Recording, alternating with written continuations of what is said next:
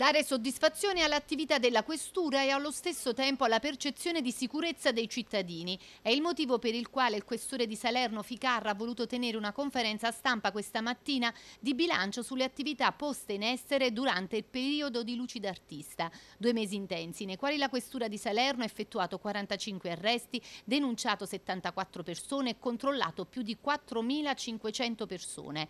Il questore di Salerno si è detto soddisfatto perché di fatti non c'è stata nessuna nessuna criticità, nonostante il mese di dicembre abbia visto le forze dell'ordine impegnate anche a garantire sicurezza durante eventi sportivi della Salernitana ritenuti a rischio sicurezza.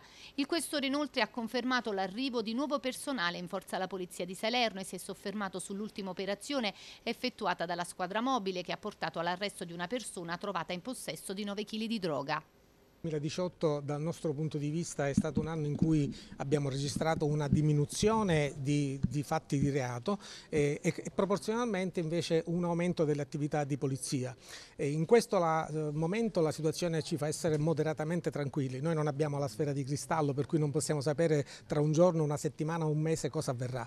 Eh, però l'incontro di oggi con voi è per testimoniare il nostro grande impegno intanto per la manifestazione che è appena terminata di Luci d'Artista e e anche quella di tutto il 2018 che ci ha visto impegnato con un impiego di uomini e di energie veramente al di sopra del normale. Intanto proprio oggi questa è un'operazione che vi ha consentito di fermare una persona con 9 kg di droga, conferma anche del fatto che Salerno resta un crocevia importante da questo punto di vista? Beh sì, purtroppo questa è la, la, la materia del giorno, il traffico di stupefacenti è sempre presente, noi abbiamo un'enorme quantità di uomini che sono dedicati a questo eh, tipo di attività e il sequestro di oggi conferma appunto il fatto che noi siamo veramente ancora sul pezzo.